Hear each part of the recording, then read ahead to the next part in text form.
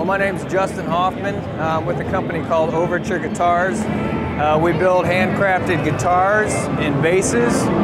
Um, the bass that I'd like to show off today would be the Timothy Gaines TG signature bass. Uh, Tim plays with Stryper.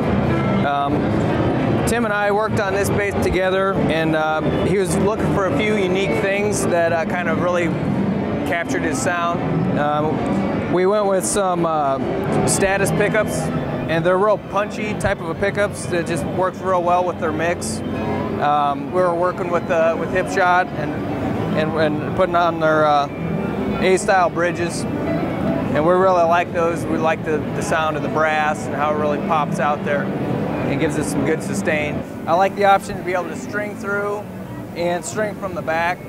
And I also like the option that you guys have where you can you can adjust the bridge bit. So you can adjust your string spacing with your bridge bit. That's what I, that really sold me on the on the bridge was the being able to adjust that along with the intonation and all that. Um, what makes this bass unique is we did a, a, a seven ply laminate uh, fretboard made with uh, ebony and yellow heart wood it just it just really articulates the notes just really makes a uh, punch out. Uh, they're all one of a kind. They're all hand painted by uh, tim beck. He's an internationally known tattoo artist slash artist.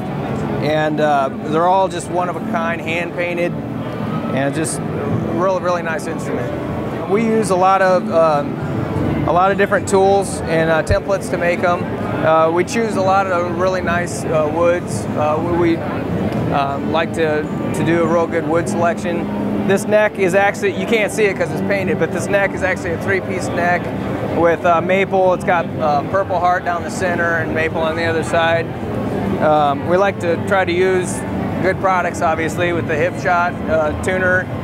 Tim uses the, the D-Tuna uh, from uh, Hipshot. They have a real nice uh, feel to them. They're not, you know, they don't have like a cheap feel. They're just real real solid piece.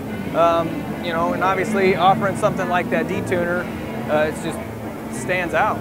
It's just awesome stuff.